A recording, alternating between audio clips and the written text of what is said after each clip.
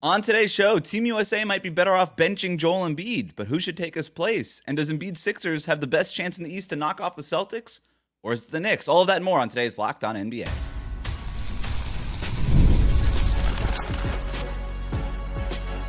You are Locked On NBA, your daily NBA podcast.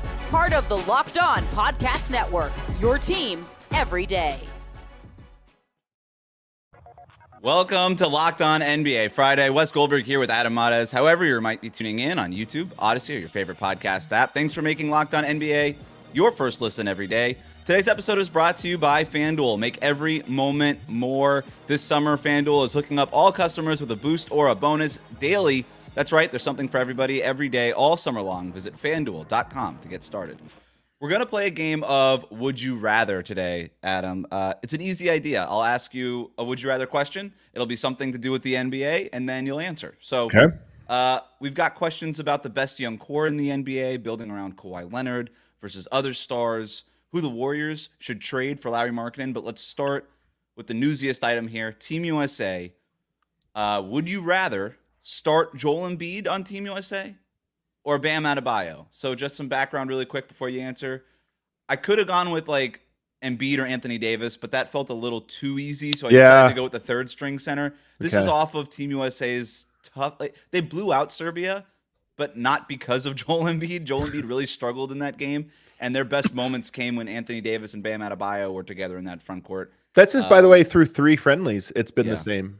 It's been. We talked about this, I think, last week, where the FIBA rules and that whole atmosphere might not lend itself to Joel Embiid and is probably better suited for guys like Bam and AD. But would you rather make that wholesale change, start the third string center, Bam Adebayo, over the current first string center in Joel Embiid? It feels like such a hot take, doesn't it? But it's Bam Adebayo. Here's the thing. First of all, the real answer is Anthony Davis. I just think Anthony Davis's skill set is perfect for being in the role that would be required of that. You've got so much scoring around. Throw Anthony Davis there. He's going to do everything defensively. He's versatile. He's switchable. He's a rim protector. So I think he's the easy answer. But when here's the thing about Joel Embiid, I'm not sure he is great at sharing the floor with other great players. And this has been true not just of a super team like this, but I think it has been true of, you know, James Harden was the exception. Those two obviously had an incredible pick and roll, uh, you know, yeah. but even that was more of the two of them, right? And then you have three guys that are very low leverage out of the way.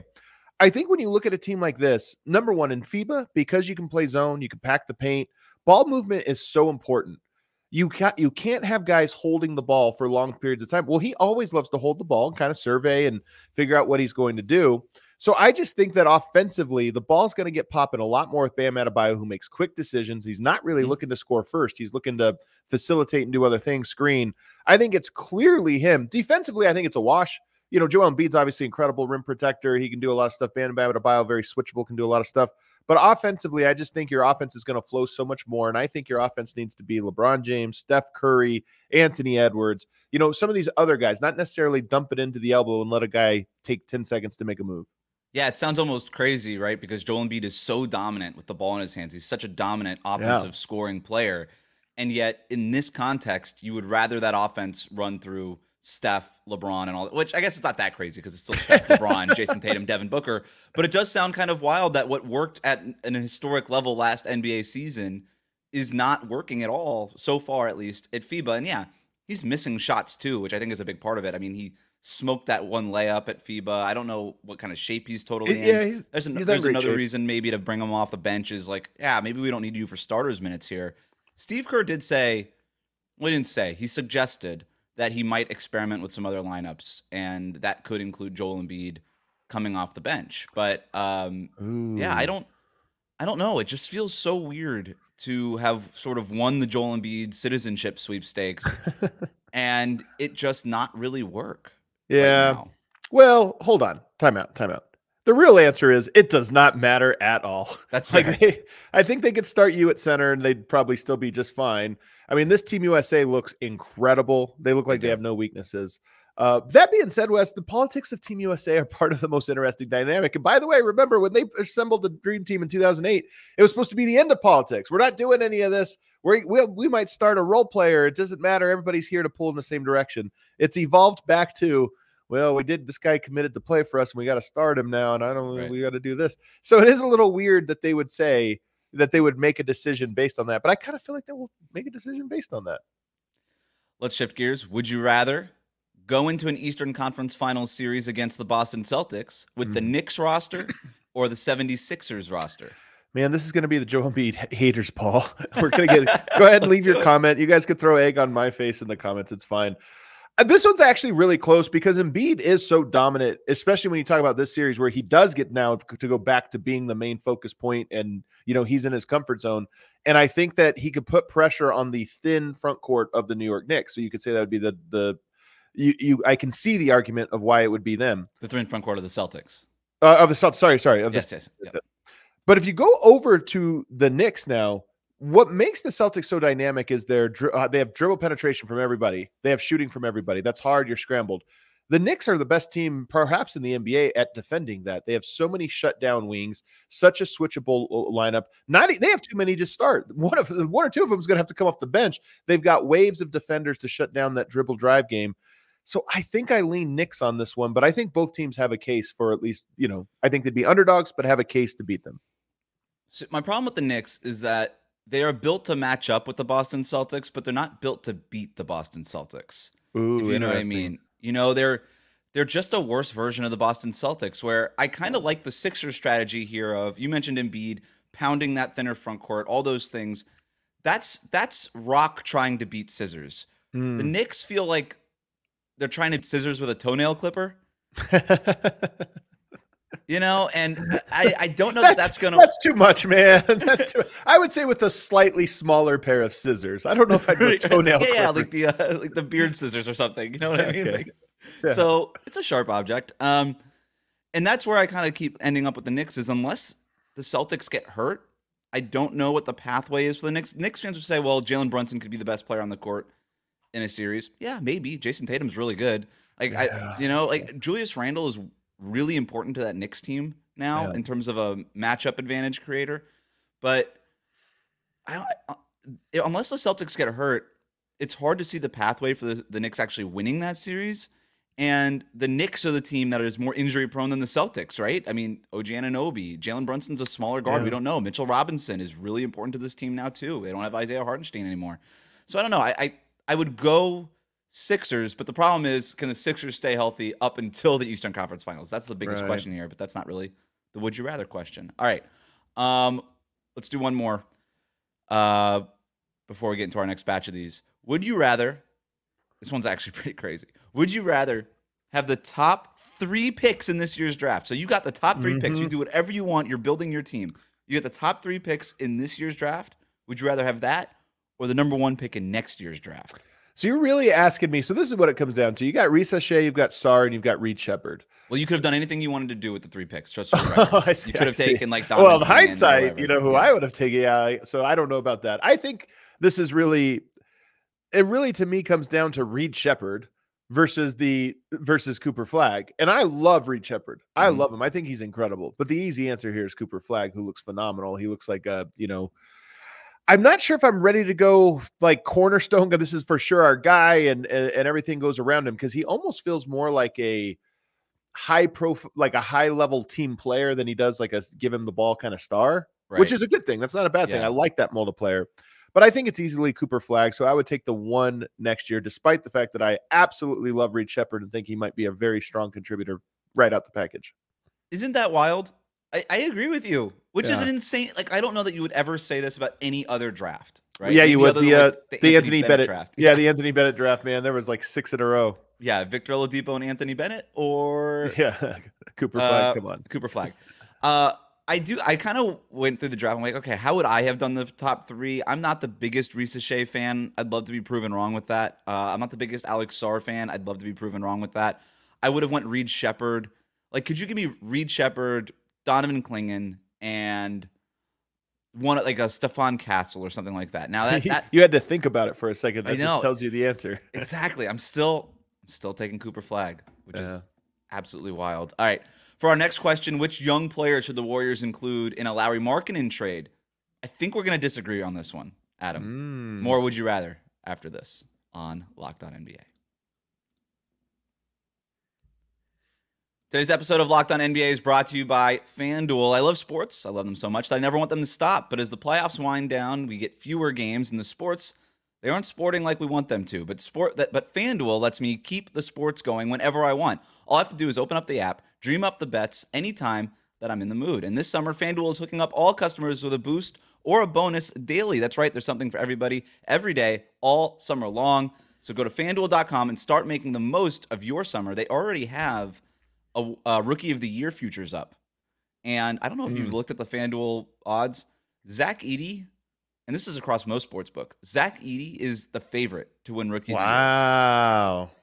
Now, I like it. I like it fine. I think Zach Edey is going to be a production machine. This guy is he can average like 13 and 13 as a rookie probably with with some blo- uh, like five blocks a game or something crazy. But um I was looking back. The last time a rookie that was not selected in the top 4 won rookie of the year was in 2017 when Malcolm Brogdon took it in that weird rookie class. Mm, So mm. uh usually That's good this is gonna- stat. there it's usually going to go to one of the top four guys. So we look at this draft. It's Risacher, Alex Sarr, Reed Sheppard, and Stephon Castle. You and I love Reed Sheppard. Yeah, but he's got How a- much time is he going to get? Yeah, a lot of young guys on that team. Stephon Although he's going to get a lot of time, man. He's going to beat out those guys. Come on, He that is. guy's filthy. I'm all in on him. I'm all in on Reed Sheppard. So I would I might go Reed Sheppard, but I like Stephon Castle. He's been sidelined a bit because he Yeah. played only one summer league game and then he was ruled out for the rest of it with this wrist injury. But he had like 22 points in that game. He's going to start. He's going to throw a lot of passes to Victor Wembanyama. Those are easy assists. That's box score uh, pa- uh, pat statting there, stat padding. Uh, he's. I think he's going to score a bunch of points. I think he's going to rebound. I think he's going to get some steals. He was the fourth pick in this year's draft. Plays for a Spurs team that people are going to be paying attention to just because of Victor Wembanyama.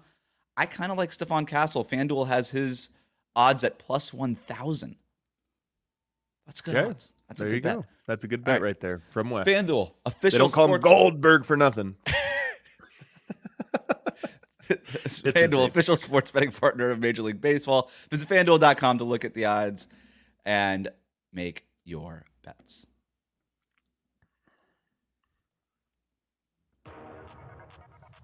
Thanks for making Locked On NBA your first listen every day. The best way to support us is to subscribe on YouTube. You can also follow us on your favorite podcast app. More would you rather? Let's jump right in. If you're the Warriors, would you rather trade Podziemski or Kuminga in a deal for Lauri Markkanen? Latest reporting on this, just for some background uh, from the Athletic, is that the Jazz were asking for all of them. The Warriors were not. And when I say all of them, all the picks, all the young players, Moody, Pods, Kuminga, and the Warriors said, "How about just Moody and all the picks?" Logically, I don't know. You would think maybe you meet somewhere in the middle. It's not all of the rookies, but it's Moody plus one of the high level ones, where it's either Pods or Markin uh, or um, Kuminga. So if you're the Warriors, you're the GM. It's up to you, right? Maybe Danny Ainge says you just pick whichever one, and then we'll take Yeah. it. Which one are you picking to send out? This is the funny one because for me, I'm taking Kuminga, or that I would rather keep. So I'd rather trade Podziemski. Mhm. But it sure seems like everyone in the organization feels the other way. And that tells you something, right? That tells you something about how they value him behind the scenes and what they believe he's going to get out of himself. I like his skill set. He's so strong. He's got a good shot. There's things, there's a great player that he can grow into, but it seems like no one has the faith that he's going to do that. So I would go with Kuminga, but I feel like I would be picking the wrong one. Yeah, I'm going Pods here. Um, you'd, keep, you'd keep pods. I'm keeping pods. I'm sending out Kuminga. I like Kuminga a lot as a player. I think he might have gotten drafted to the worst possible situation for him Yeah. in Golden. State. You know, he need this is a guy who needed some space. He needed like a lot of yard, right, Yeah. to kind of grow his game, and he didn't Yeah. really get that in Golden State. He had to play a very specific role, and sometimes you see players thrive with that. But I just felt like there was so much untapped potential with Kuminga that it was unclear what his role should even be in the NBA, other than just being big and athletic. And that's essentially all he's been able to do with the Warriors, save for like when they get really hurt and then they just like kind of let him hoop a little bit. So Pods has just been an easier fit. The other part, the other part of this too, is if you're acquiring a guy like Markkanen and you're keeping Kuminga, he's getting even less yard, right? Like there's less stuff for him to do now Oh, because you want the point. ball in Steph and, and Markkanen and Draymond Green's hands. I don't know. I I like Kuminga a lot. He's also got this rookie contract extension ready to come. That could get weird, right? If he's not getting the ball, if he's not getting that usage, that he's going to need to get a 20 plus million dollar contract or whatever it is that he's going to want, this could get rocky between now and the trade deadline. So we and we already saw some of the politics and the agents get involved even last year with the Warriors, and they did a good job of smoothing that over. But can they do it twice? I don't know. So I would just sort of cut my losses and just say, you know what? We turned Kuminga into an all star in Markkanen who just fits a little bit better with what we want to do. That's a win. It's not like we're selling short on Kuminga. We're upgrading the yeah. team. We turned this draft pick that we should have never had in the first place into something very valuable for us. And by the way, we still have pods who, like you said, everybody in the organization likes. So I'd yeah. go I'd go keeping pods. So I think you're right, man. He doesn't have a lot of yard. In fact, I'd say he's in the doghouse. Um, yeah. and sometimes you got to throw him a bone, you know, and Ooh. he's got that dog in him. So, you know, you can how much more can, can we keep I don't know. That this? was a great metaphor chain. I was just like, keep going, man. You gotta roll. All right. Would you rather trade for Brandon Ingram, who's on an expiring contract, or Jerami Grant, who is, plays basically the same position, but is under contract for basically this half decade at 30 million ish a year. Oh man. this is the worst would you rather ever. oh man. I think I'm going with Jerami Grant. I feel the same way about both of these players. Here, here's what it really comes down to. I don't have faith that either of these guys are winning players. And I don't have faith that either of these guys will justify the contract that will be their market value because they're both so talented that they command the money. Obviously, Jerami Grant has it. Brandon Ingram is going to command. If you trade for him, you're going to have to end up paying him, you know, right after that because they're talented and there's enough hope. And in the NBA, you got to bet on hope sometimes. But I don't count on either of them. The difference is I really don't count on Brandon Ingram to mm-hmm. care about the game, to care about being part of a team, to to you know, to being all that. With Jerami Grant, I think I don't buy it either, but I think you could probably work with the way he plays a little bit more than Ingram. Ingram can pout on the floor if it's not the game's not going through him, whereas Jerami Grant, I think, will just quietly sulk. I think with this new, as the cap goes up too, Grant's contract will look a little bit less bad, right? The big part, of the big issue, yeah, Grant, is yeah. that he's already, what, 30 years old and he's going to be 34, 35 when this contract ends up being yeah. done. It's like, how many more good years does this guy have? But he's an insane athlete. I know he can defend. He could score a little bit. Uh, you probably want him more as sort of that second side scorer as opposed to your primary scorer. Where Brandon Ingram is probably also best used in that role, but don't tell him that. Mm. You know, it's, it's, so I'm with you. And if Brand, uh, Ingram is going to come off the book, his contract expiring, you're going to have to extend him or re-sign him. He's going to be a really interesting uh, case study in a guy that in the old CBA almost always just got the max. You just gave it to him because he could score 25 points per game, and those guys just get it where in this new CBA, you can only really carry two max players. And I don't know that anybody with championship goals looks at Brandon Ingram as being one of like the two guys you can win a championship with. If that yeah. if you're gonna have two max guys, and one of them is Brandon Ingram, that's a tough way to build your team. And that's the problem that the Pelicans are in right now, not just in whether or not they decide to keep Ingram, which I obviously don't want him to, but trying to find a spot for him, trying to find a place to trade him to, because no team wants to pay him this money. So can he get negotiated down to maybe closer to Jerami Grant money. And if that's the case, I still think I want Grant because, like you said, it's just a little bit easier to place him on a team with maybe some primary scoring already. So I'll go Grant. Um, would you rather sign Jalen Green or Evan Mobley to a maximum rookie extension? Man, these are getting worse, not better. No, this one's better for me. It's easily Mobley. Jalen okay. Green to me, he has the talent, but like Ingram, I'm not sure he's going to get it and it's in a different direction, but you don't know if he is learning the game the way it's you know that it's going to benefit him down the road because he has all the talent. Evan Mobley, I think's talent is easier. His personality, I think, is also easier to fit into what he needs to be. He can be an Anthony Davis light, uh, you know, in terms of mostly defense with with a capable offensive game, which is I think what he needs to be. I don't know that Cleveland has used him the best, mm. to be honest, in your time there, giving him the twin tower lineup. So for me, this one's actually not so hard. It's it's Mobley. I think I'm there too. Jalen Green finished the year really strong uh, for the yep. Rockets last year. I mean, he averaged uh, what was it like 24 points per game on 44% shooting, 37% from three point range. As soon as Sengun got hurt, assists on the la- right when Sengun got hurt. Those are those are the stats for his last 15 games. Uh, but you're I don't know. Defensively, there's question marks. As a playmaker, there's question marks. He, is he Brandon Ingram that but smaller? You know, it's is a fair question uh, where yeah, the guy could put up points on the board, but is he actually contributing to winning? Evan Mobley, I would be really hesitant to pay him a max rookie contract because his offensive thing is such a question mark, and defensively he's really good, but he's not defensive player of the year level on defense yet. And maybe part of that is just what's going on in Cleveland, and maybe less of him. I would be really hesitant to pay either of these guys the max money, but I'd feel a lot more comfortable giving it to Mobley than I would Jalen Green. All right. Speaking of the Houston Rockets, would you rather have the Houston Rockets or the Orlando Magic young core? Man, we I think we did this one at some point in the season. Hmm. I, I remember talking about this one at, at some point in the season, and it was such a controversial one. I think everybody at the time thought we would be idiots if we didn't say the Orlando Magic, as evidenced by where they were in the standings. But now you talk about adding Reed Sheppard to the I know, mix. That's where I'm at. I love Cam Whitmore, who wasn't playing a yeah. ton at the time. I think when we did this, I, it's wild to say because again, Orlando is a proven core, but I, I, still go Houston. I like Houston's core. I think they need. Here's the thing with Houston this year: they need to move off of some of the core because at a certain point you start to cannibalize your own core, yeah. and they have too many guys that somebody is going to be left out. Jalen Green would probably be a guy that I would move on from at, at, at the at least to start things off. But I love Reed Sheppard, love Cam Whitmore, love Tari Eason uh, like Sengun, you know, like uh, Amen Thompson. They have so many players, man. Um, I think it's them. Yeah, I think at first blush, I'd say the Orlando Magic because Jabari. they've got Paolo Gampar- uh, Paolo Gan- oh, Banchero, yeah. Paolo Banchero. Easy for you to say. Yeah. Uh, who's a guy. Like, I know that guy could be one of the top two players at some point, four or five years from now. He That feels like that could be one of the top two players on a championship team to me. Am I sure that the Houston Rockets have that guy? Does this question really come down to would you rather have Banchero or Sengun? Maybe. But then you add the whole Reed Sheppard thing into this mix, and I don't want to make too much out of a couple of summer league games, but that guy looks awesome. And I don't know that there's a whole lot of guys that I'm taking over him in this draft class. And if Reed Sheppard could become one of these guys, I don't know. I, I like the numbers that Houston has. I, for variety's sake, I might just still go Orlando just because I know I have the one guy for sure in Banchero. And personally, Jalen Suggs might be one of my top six or seven favorite guys to watch. Oh, the, the best.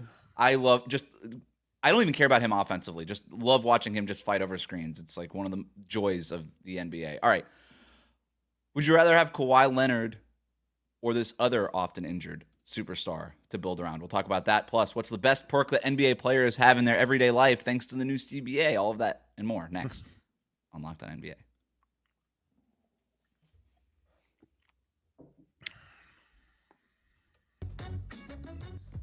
Thanks for making Locked On NBA your first listen every day. Let's jump right back into Would You Rather. Would you rather have Kawhi Leonard or Jimmy Butler as your number one guy? This one I think is also easy to me. It's Kawhi Leonard, and I love Jimmy Butler. He's got more dog in him, I would say, than mm-hmm. than Kawhi Leonard. But that outside of that, what else does he have? Kawhi Leonard's incredible. Uh, both of them are a health question.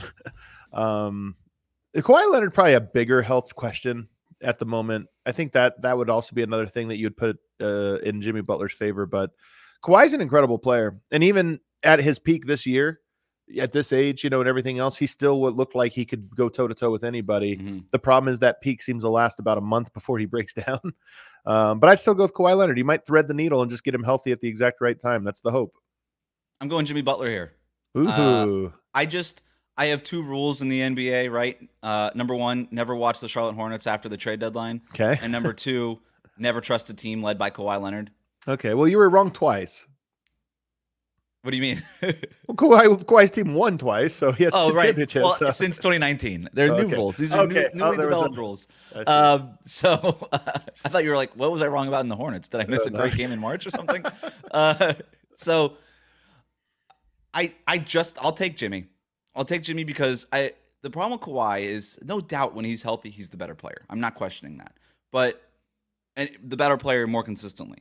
But he hasn't finished a, a postseason in three years.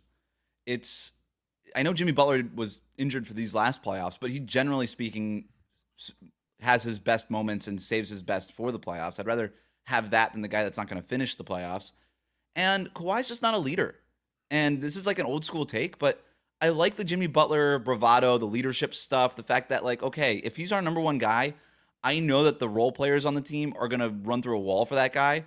Where I think that if you're Kawhi's teammate, how frustrating does that have to be? And I would love to get like Paul George some truth serum and say, okay, how much did the not knowing whether or not Kawhi was going to be available or not actually factor into your decision to leave the Clippers? Because it's easy to blame the bosses. That's the easiest place to always place blame. Blame the bosses, blame the money, walk away. Politics are still intact. You're not making any enemies. But I bet in his heart of hearts, he must have been also frustrated. Like, okay, am I the number one guy? Am I the number two guy? Am I the number three guy? Every other night, based on who was available. So, um, give me Jimmy. Give me Jimmy. Um, all right, this one's for you. Yes. Um, so I don't know if you saw this, uh, and I'm gonna preface this by saying this. I saw this on Reddit, and I don't know how true it is. Yeah, perfect. But, I'm uh, already in. However, right, yeah.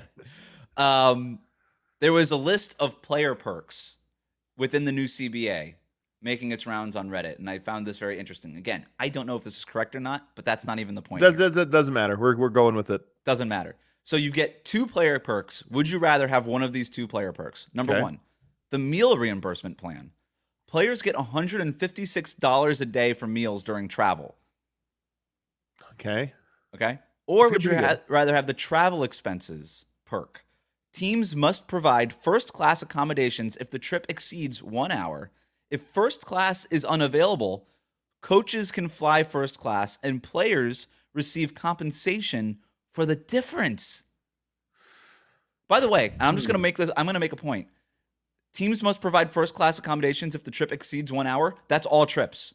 That's All- all. Yeah, yeah. Well, Denver to Salt Lake. You're. I'm sorry. You're in the back. You're sitting in the back there. What is that, 45 minutes? Yeah, it's like you're up and down. You know. Yeah, it's tough. It's either that one or it's like Staples to Staples if you're the Clippers and the Lakers, right? You don't get you don't get that one, but or maybe Golden State to Sacramento. But other than that, first class all the way, baby. Okay. Um, I think financially it would be smart to take the second one. I think that's the one that probably has the you know more dollar value. But you know, Wes, I'm a guy that likes to eat. I like to go to a nice restaurant. I like to try things out. I'll take what was it, 156 dollars? Exactly. That'll pay half of my eating expenses if I'm an NBA player. Because I'm not eating Chipotle. I'm eating, you know, I'm going out for steak and lobster every single night. So 156 dollars that gets me about halfway there. I'm going with the travel one. That's the You had me at one. fir- yeah, you had me at first class, man. Like Yeah. I'm I have like a personal rule. Like if I'm going overseas to a different country or something, I'll do my best to get first class just because. But an hour flight? Like you're telling me I can fly from Miami to Atlanta for work and it's and I get first class on that? yeah, it'd be great. Miami to New York first class every time. And then if you don't get it, you just take the money. Like financially, I could just say, you know what? I don't need first class. I'm good in just like my standard legroom seat. Yeah. Give me the thousand dollars and I could just put that in my pocket because I get reimbursed for it if I if first class isn't available. I'm taking that one. Then I could take that money and spend a great spend it on a meal later. Um, all right. It's Friday, which means it's time to count down to the weekend with our weekly power rankings. Here's the I'm not a system player. I am a system player. Go Power Rankings. Go Power Rankings. What do you have for us today, Adam? Well, I was sitting here thinking, well, I've been just exhausted covering NBA Summer League, you know, just exhausted because you go right from the finals into the draft, into free agency, into Summer League. It just doesn't end. I would like to change the schedule. I'd love to change the calendar, the NBA calendar, and how it operates. So I have five changes that I'm looking to bring to make it a better workflow for me personally. This is not better for the players. It's not better for the organization. This is your This calendar. is better for me, I love the this. person, and that's and nobody else. The, the most selfish third segment we've ever had on Locked On NBA. Let's go. Number one, we're going to move the draft and free agency to July.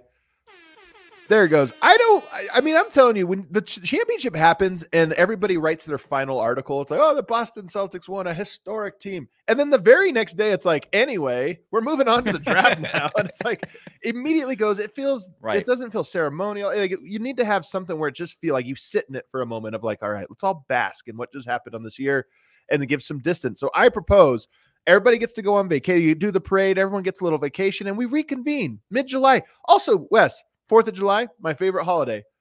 But yet, I have to sit by the phone. I'm checking messages. I'm making sure Woj Right. hasn't tweeted because all this stuff is happening. Let everybody get away for the Fourth of July. Let's come back second week of July, and we'll pick the season back up. I this is great, and I think the thing that the NBA does not do well is talk about itself in terms of what the sport is, right? Right. We do a good job of talking about what's happening next, but we do a very bad job of talking about what has already happened in the NBA, unless it's like 10 years from now and we're talking about like the NBA's top 75 team or something or whatever it is and start like it does a good job of celebrating its history, but does not do a good job of talking about what just happened. And I think about like Adam Silver's comments was it last year about how he wanted the the discourse around the NBA to be more like it is around the NFL, where it's focusing a little bit more on the on the on the floor product.